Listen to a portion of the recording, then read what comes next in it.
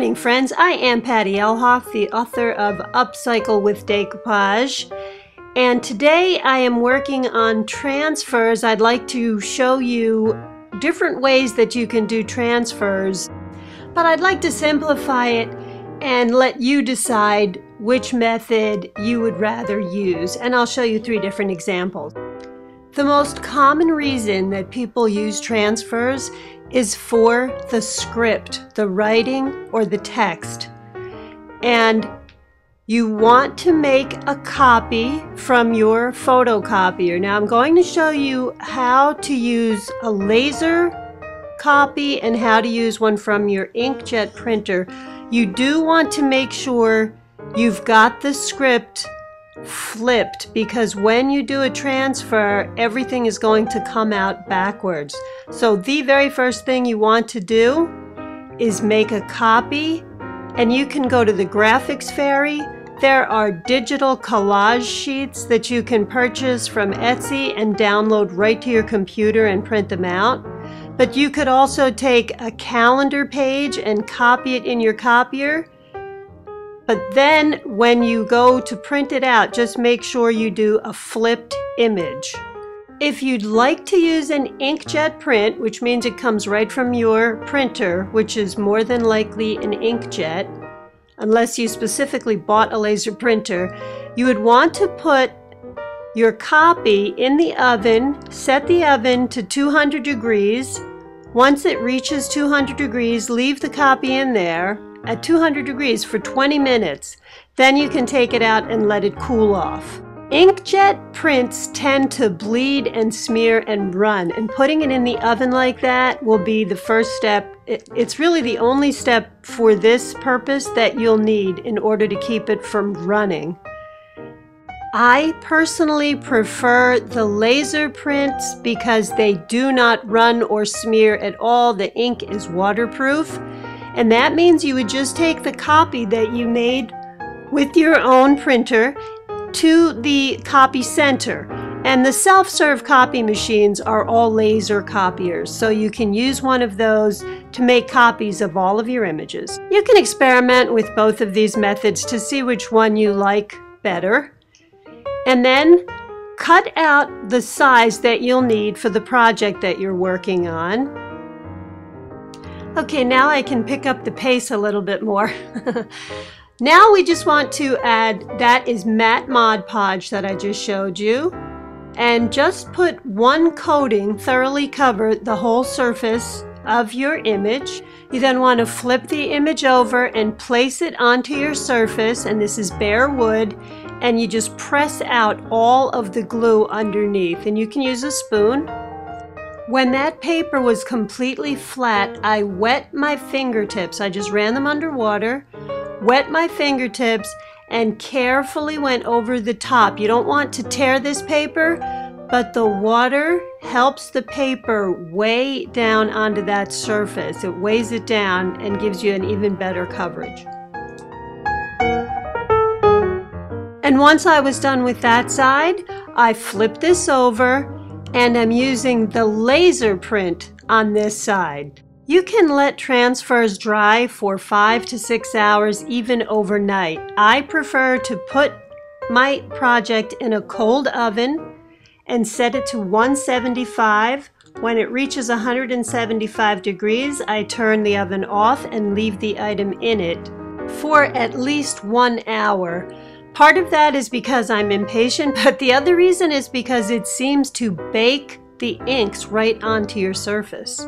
I will show you the end result of all of these three projects when I'm done, but I used my favorite chalk paint over this metal pitcher and I'm using a gloss heavy gel by Liquitex to do this particular transfer and you notice that I did copy this and I reversed the image. I did make a laser copy, but I also want to go around these edges and I want to take away the excess paper, but I want to tear it smoothly. I don't just want to cut it. So I did the same trick that I do with napkins, which is took a very fine point paintbrush, wet it, just water, and went around the edges just to weaken the fibers of that paper and pull away the edges that I don't need. It is important that you use the store-bought chalk paint. I know people try to make their own, but when they do that, they're normally using an additive inside their own latex or acrylic paint.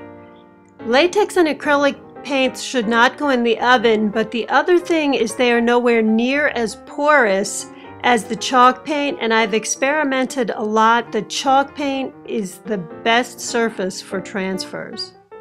Now that's just my opinion, and I have not yet tried milk paint. Some people swear by a milk paint for this also. Now I'm doing the same exact steps that I did before, and putting the, the only difference here is I am using a laser print, but I'm using the gel medium to do this transfer, which came out beautifully. You'll see that in a little while too. But this will also go in the oven.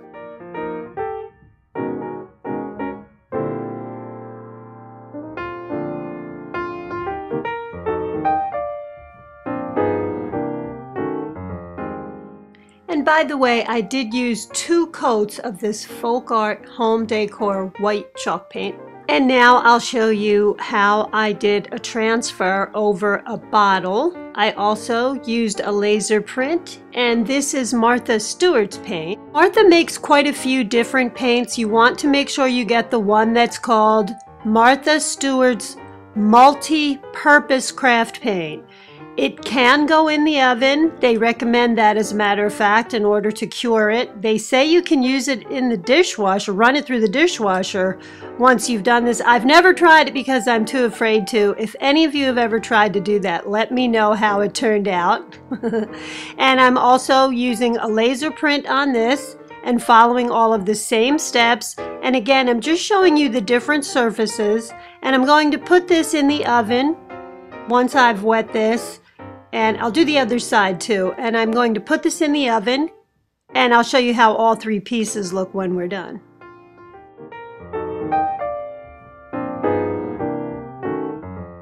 And I'll repeat that.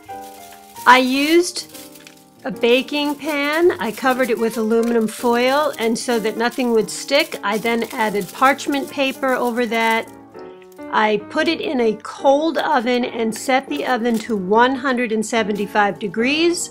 When it reached 175, I turned the oven off and I let these items stay in there for an hour and then took them out to let them cool off.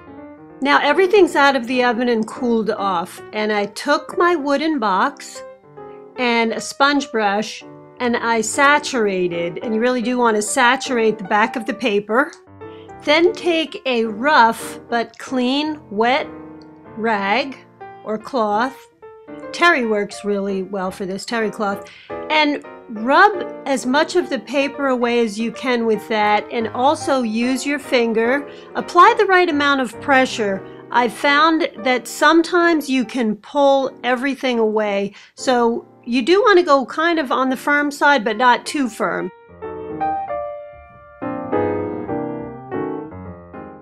This was the laser copy side and you can see how it comes out a little on the sheer side. That's because there's no paint and we worked on raw wood. And you just want to pull away any of these edges or you can use a nail file and go right across those edges. The other side is the inkjet side. At first I was a little worried that it ran or it bled, but it, it did come out fine. So same steps, just the sponge brush, dampen it, then use the cloth to pull that paper away so that you reveal the image underneath. And I am repeating all of these steps just so that you get the general idea of how this is done. This is now cooled off out of the oven. This is the chalk paint over metal with a laser transfer and I used a gel medium to do this transfer. And this is by far my favorite one. This is why I love chalk paint and why I love the laser prints. And again, I just wet the image. Now that this has come out of the oven and cooled off, I wet it. I peeled most of the paper away with the rag and now I'm using my thumb. and we'll move on to the glass bottle. And all of the steps again are the same. This came out of the oven. I cooled it off or let it cool off. Then I saturated the paper and I started with my thumb on this. I could feel the paper was going to come away a bit easier on the bottle. And used the rag and took the paper away from this to reveal the image underneath.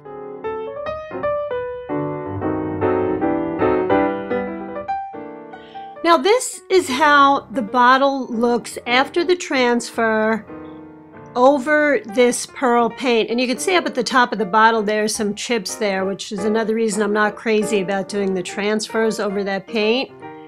Here is another bottle that started out clear. I used chalk paint on it. I used an image from the Graphics Fairy and made a laser copy of it and followed all of those same steps and you can see there's quite a difference here. And here are how our completed pieces look. This is the laser print. And on the other side, you can see that the inkjet print is not as intense. And here was our upcycled liquor liquor bottle. and you can see that even though we used a laser print, over this type of paint, it just didn't come out nearly as intense. I also, I'm not crazy about that chipping that occurred up there, especially after I took the time to put this in the oven. You can see why I prefer the laser image transfer method over chalk paint. And here's how our butterfly came out over this watering can. And I did use a laser print, but I also used a gel medium over the chalk paint. And in next week's video, I'm going to show you how to decoupage around all of these surfaces with the exception of the upcycled liquor bottle that had the text on it. I simply put a top coat or a varnish over that and left it just as it was. And the decoupage will cover up any of these areas where you can see a line and you'll be able to see how decoupage and transfers really work well together. And just a few other tips. You may want to just practice on pieces of wood like this. You can find these in the craft store. I'd go with a much lighter colored paint. Transfers work better on lighter colors. And use different paint to experiment. You can use gesso, the Martha Stewart paints, milk paints, and of course my favorite, chalk paint. You can take any old liquor bottle. I have a link below on how to thoroughly remove the label and all of the residue. You can do that within 15 minutes so, so that you can start with a clean surface and you can use a colored liquor bottle because you're going to paint it anyway. And as far as experimenting on metal goes, every single can in my house had these ridges on it. This is not the best surface to do a transfer on uh, which is one of the reasons that I use that old watering can. So if you can find a smooth metal can or a smooth metal surface to practice on, that would also be a big help. And both the multi-surface paints and the chalk paints work over metal. Okay, friends, that is our video for the week. I hope I was able to demystify the process of transfers a little bit for you. Please feel free to ask me any questions or make some comments. I'm curious about the milk paint, if anyone's done any transfers over that. And Upcycle with Decoupage is also on Facebook. If you like and follow the page, you'll be notified every week when I put out a new video. In the meantime, thank you so much for subscribing. I look forward to hearing from you guys. I will see you next week with another video. Bye-bye.